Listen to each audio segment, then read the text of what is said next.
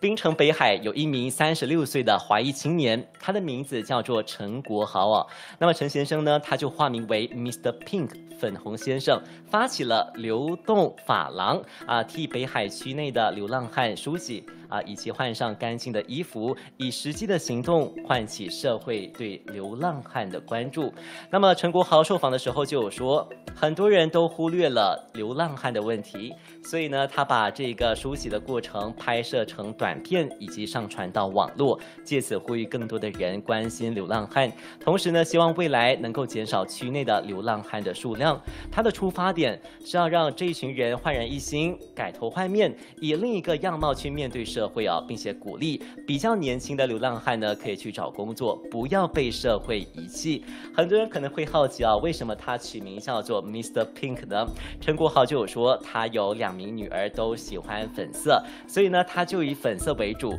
以身教的方式，希望女儿长大之后能够了解他为善的用意，让女儿明白区内呢还有很多不幸的一群人。他同时强调啊啊，这样的一个善行呢，没有对外筹款，如果人啊，有人是盗用了他的这个肖像来去筹款的话呢，大家就不要去轻易的啊相信，以免掉入到这个诈骗的陷阱当中的。